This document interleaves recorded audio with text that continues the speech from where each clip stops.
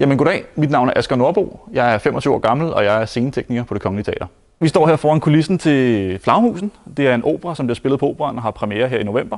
Når man er elev på det Kongelige Teater, så er der rigtig mange forskellige afdelinger, man er i. Man kan, man kan frit vælge, hvilken afdeling man gerne vil være i, hvilket er virkelig fedt. Det betyder, at både lydafdelingen, lysafdelingen, ja, den der koder lyset, den der afvikler lyset, og man prøver en hel masse forskellige ting. Men det betyder også, at man skal kunne rigtig meget forskellige ting, og kunne rigtig meget forskellig matematik, fordi alle forskellige afdelinger bruger matematik på forskellige måder, implementerer de deres arbejdsdag på forskellige måder.